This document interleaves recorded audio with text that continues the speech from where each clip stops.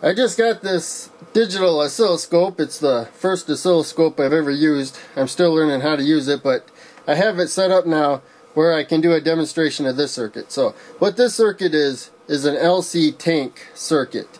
And what that means is there's a capacitor and an inductor connected in parallel.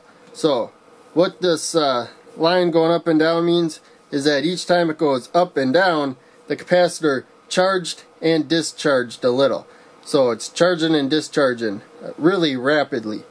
Down here it says uh, says about uh, 250 hertz, which means it's charging and discharging about 250 times. Now that's not fully charging and discharging.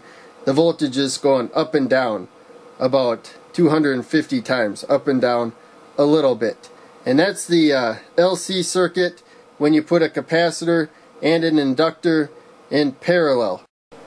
So now we have one end of the resistor on the positive rail, the other end of the resistor connects to one end of both the capacitor and the inductor. This is a polarized capacitor. There's a gray stripe here. It's not showing up on the camera very well.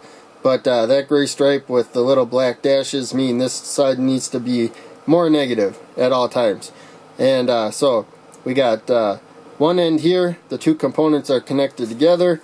Now the leads have different spacing, so I just connected a jumper wire to the other end of the inductor, which comes to the negative rail where is the uh, negative side of the capacitor is already connected.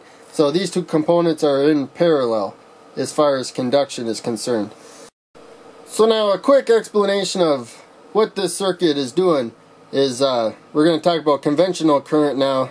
That's when you look at it as positive going to negative. So uh, we apply the battery to the rail, current flows through the resistor to this point. And so one end of both of the components are connected here. So at first the capacitor is going to charge because capacitors they accept a change of current really easily when there's a, a voltage difference. But when you put a voltage difference across an inductor, at first it resists the change in current. So current flows easily into the capacitor and it charges up a bit. Now at some point though, the inductor is going to give in and be conducting. And the capacitor will discharge through the inductor. Now this is just a little bit, but it discharges a little bit and uh, it reaches a point where the inductor even helps push current out a little bit and the capacitor gets a little lower than it uh, likes to be and starts accepting current easily.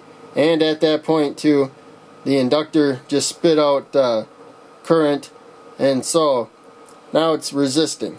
And it bounces back and forth. They take turns accepting and resisting current so when one's accepting easily, the other one's resisting, and vice versa.